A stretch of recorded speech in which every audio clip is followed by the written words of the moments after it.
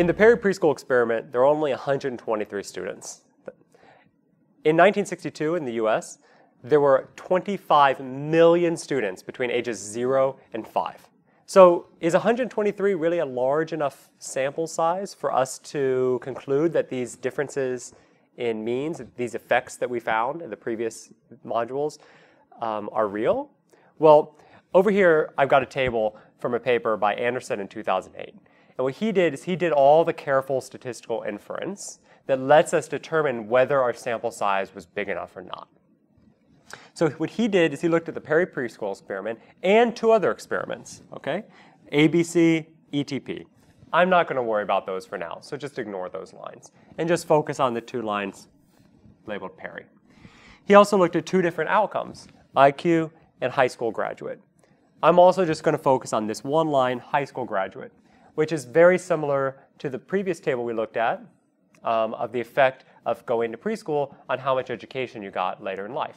So here it's whether you graduated from high school by age 18. Now, just like in the previous analysis, we're going to split it between female and male. So we're going to look at conditional average treatment effects for being female and conditional average treatment effects for being male. So there's a bunch of columns here. So let's just go at, through them one by one. Over here, we've got a column labeled CM. Okay, what does that mean? Well, if you go down to the footnote, fortunately, it tells you exactly what it means. CM refers to control mean. So that just means the average outcome among females in the control group. Okay, these are the people who didn't get preschool. So among the females who didn't get preschool, about 34.6% of them graduated from high school by age 18. Now this column here is labeled effect. Okay, now that is the difference between the treatment group mean and the control group mean. Okay, that's just the conditional average treatment effect. Okay, 49.4%. So that means that in the treatment group, the people who got preschool, about 49 plus 34, or about 84% of those females graduated from high school by age 18. So this is an enormous treatment effect, 49% increase in graduation, high school graduation rates by going to preschool for females. That's just huge, just huge. And that's a similar sized effect that we saw from the previous analysis, okay? And both that analysis and this are based on the same data. Okay? So we should expect to see a similar outcome. Okay, now let's look at males. In this column, CM, we see that 66.7% of males who did not get preschool graduated from high school by age 18. Now let's look at the conditional average treatment effect. That's minus 6.1. So that makes it look like going to preschool actually made it worse for males, that it lowered the amount of people who are graduating from high school. Okay? So the big question here is do we have enough people in the sample size to conclude that these are true effects? And they're not just due to idiosyncratic differences between the, pe the people who happen to be in the experiment. Okay? So that's why we have to turn to the statistical inference. Now, the last time we saw statistical inference in these modules was when we were looking at the Oregon healthcare experiment. And there, the way we did it was we computed confidence intervals. And we asked, is zero in this interval or not?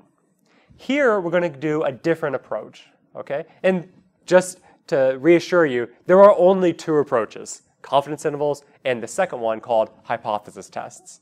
That's it. Those are the only things you'll really ever see for doing statistical inference. So here we're going to do a hypothesis test.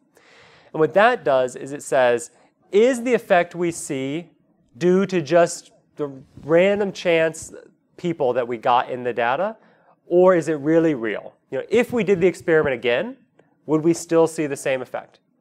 You know, if we used a totally different sample of people instead of the kids we actually used. Okay? So that's what a hypothesis test does. Now, the way you're going to interpret the outcome of this test is by looking at something that we compute called a p-value. Okay? And I'm not going to get into how we're computing this because it does get kind of complicated and tricky, and it always tricks people up. But as far inter as interpretation goes, all you need to know is that if the p-value is less than 0.05, then we're going to conclude that it's a true effect. Okay, and the sample size was enough for us to extract this info from our data. If the p-value is larger than 0.05, then we're going to throw our hands up and say, we don't know. Maybe the sample size wasn't big enough. Maybe the effect it doesn't actually exist. Okay? So that's the conclusion. So now let's look at p-values in this data. That's what list, is listed in these two columns here. Okay? This first column is called the naive p-value. So we're going to just ignore it because it's naive. Okay? Why would you want to do anything that's naive?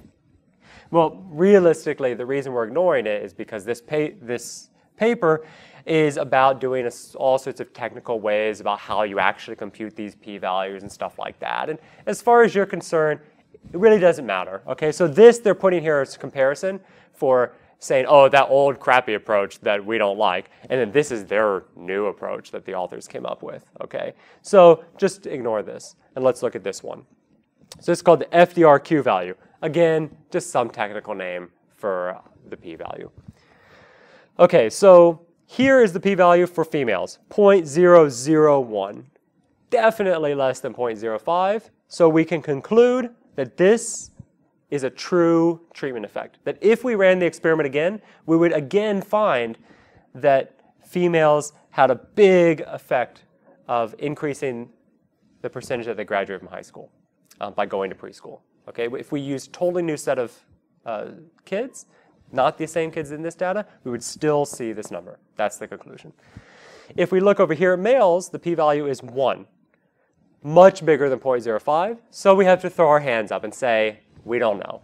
Maybe this is a true effect, but maybe it's just because of the particular people we had in the data. You know, we just don't know. So that's the only thing we can conclude from this. And since this is a small number, you might just say, well, probably there isn't an effect, okay? But the test is just going to tell us that we can't tell, okay?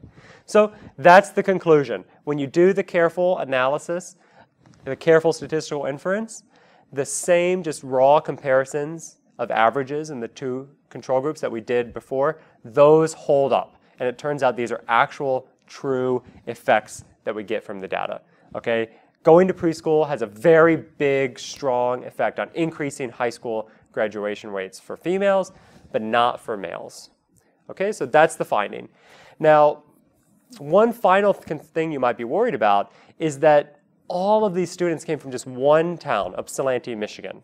Okay, and there might be something very special about that town that makes it not representative of the rest of the country. So even though we've done all the careful analysis and we've found true causal effects, it might be that those effects are specific to people who live in Ypsilanti, Michigan, or in Michigan specifically. So we you might have to worry about whether we can extrapolate this finding to the rest of the country or to other time periods. So that's something that this data just can't answer. And you have to use something else to answer.